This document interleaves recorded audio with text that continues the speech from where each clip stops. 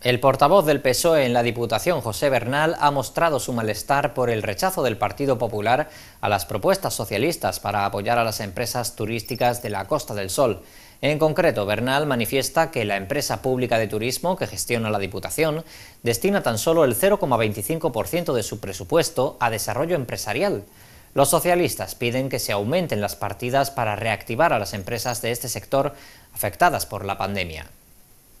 El señor Salado nuevamente le da la espalda a los trabajadores y a las trabajadoras y a las empresas turísticas de la Costa del Sol, que el Partido Popular ha rechazado destinar los recursos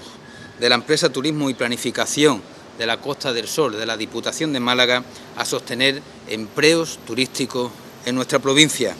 Hemos propuesto medidas razonables y factibles desde el Partido Socialista, pero el señor Salado nuevamente ha vuelto a ser oído sordo